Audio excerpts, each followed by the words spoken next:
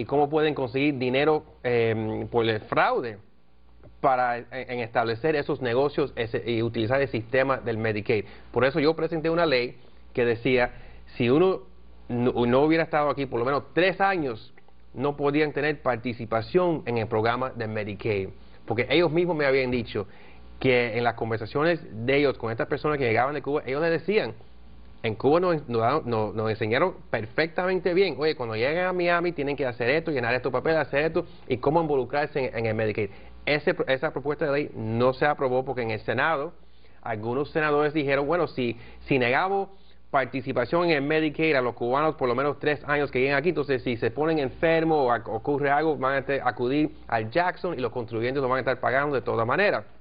Mi respuesta fue lo mismo. Los contribuyentes los pagan de todas maneras porque nosotros pagamos por el Medicaid. Ahora sale esta noticia que hay personas que ya es un escándalo, hay un sistema sistemáticamente abusando y, y defraudando al sistema de Medicaid millones y millones de dólares. Y no son solamente ellos, todavía existen muchos redes aquí de personas que están involucradas en el fraude con, con el Medicaid y que están involucrados y tienen eh, el auspicio o, o tienen eh, la motivación y promoción del gobierno castrista. Yo pienso, eh, y yo creo que esa noticia solamente confirma esa teoría, Claro, claro. que el gobierno castrista conoce muy bien que hay personas que pueden llegar aquí, recibir medicinas del Medicaid para venderlo de nuevo en Cuba, recibir dinero del Medicaid y mandarlo de nuevo a Cuba, al igual que lo hicieron eh, est- est- esta familia.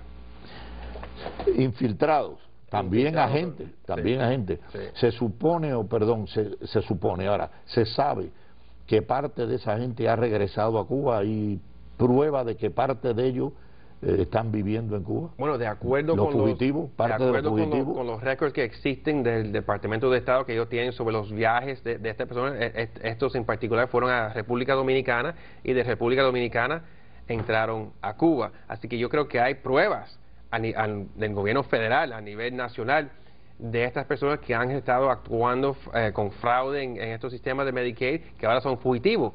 Y el hecho que son fugitivos no es nada nuevo para, para el gobierno castrista. El gobierno castrista tiene cientos de fugitivos de la justicia norteamericana viviendo Claro. con, con asilo en, en Cuba. Eh, hasta personas que han matado policías, eh, personas que están en la lista de, de los, de los criminales más buscados del FBI.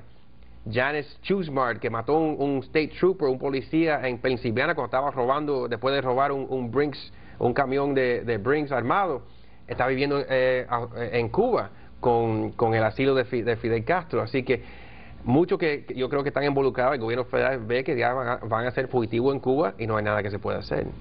pero se puede hacer eh, una relación de esa gente que habiendo cometido el delito han regresado a Cuba y son eran agentes del, del, del régimen cubano. Pues esa gente ha venido ya programada Absolutamente. pa- para realizar esa labor. Mientras estás allá, aprovecha y mándame. Y si te descubren, regresa aquí. Exacto. Pero bueno, ha- haría falta esa relación de lo que, por ejemplo, como ejemplo, de los que fueron a República Dominicana y después se fueron para Cuba. Publicar esa relación y, y tener una iniciativa Yo creo que jurídica de alguna necesitamos forma. una iniciativa quizás el, el año que viene o en, en el próximo término de la sesión legislativa. Tenemos que mirar de nuevo nuevas regulaciones o prohibiciones de personas que llegan recientemente eh, de Cuba y que quieren inme- eh, inmediatamente involucrarse en el proceso de Medicaid. Quizás no en los beneficios, eh, no negar los beneficios si están enfermos del Medicaid, pero estar involucrado en el negocio del Medicaid. Yo creo que eso hay que mirarlo un poco más profundo. Me parece muy humano y muy correcto. O sea, los beneficios no se le niegan, pero la participación en el negocio, en las empresas, de ninguna manera. Son agentes de Castro.